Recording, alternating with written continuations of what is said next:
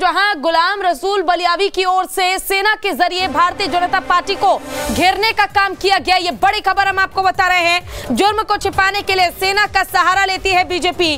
BJP के vote के लिए खून का सौदा किया।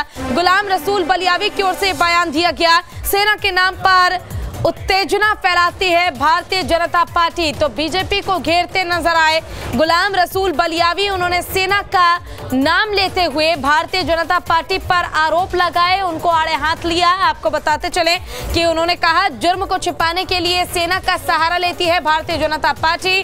बीजेपी के वोट के लिए खून का सौदा करती है। फ़िलहाल बाइट भी हम आपको सुनाएँगे कि क्या कहना है गुलाम रसूल बलियावी का, लेकिन इससे पहले जो उनके द्वारा दिया गया बयान है, वो हम आपको बता रहे हैं। उन्होंने साफ़ कहा कि जुर्म को छिपाने के लिए भारतीय जनता पार्टी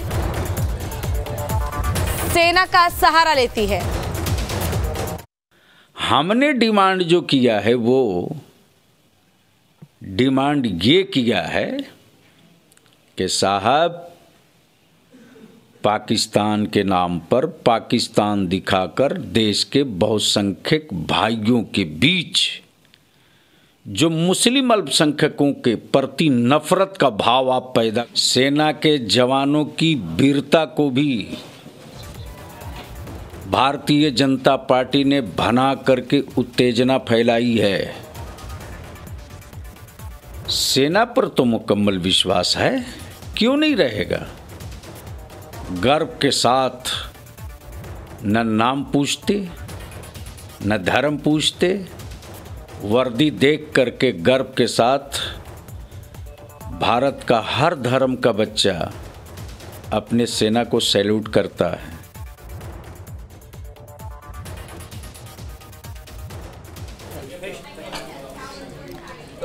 तो वहीं गुलाम रसूल बलियावी की ओर से साफ़ तौर पर कहा गया है कि मैंने अपने बयान में कुछ भी गलत नहीं कहा है। विवादित बयान पर फिल बोले रसूल बलियावी, मैंने अपने बयान में कुछ गलत नहीं कहा। बीजेपी बहुसंख्यकों के बीच जहर फैलाती है। इस बात को एक बार फिर से दोहराया है। गुलाम रसूल बलियावी ने, उन्होंने कहा कि मैंने अपने बयान में कुछ भी गलत नहीं किया है।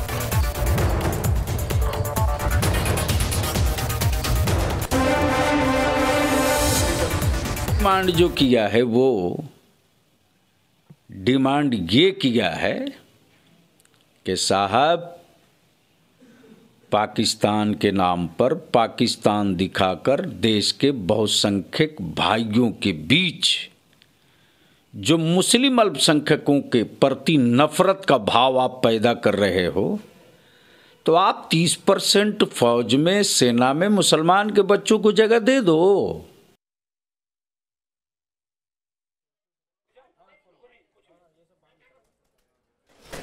क्या ये? क्या हुआ? वन टू वन ये वन टू वन मारना ही नहीं हमने डिमांड क्लियर बोल दिया था दूसरा ब्रेकिंग बाइट सुना के फ़ोन हो गया।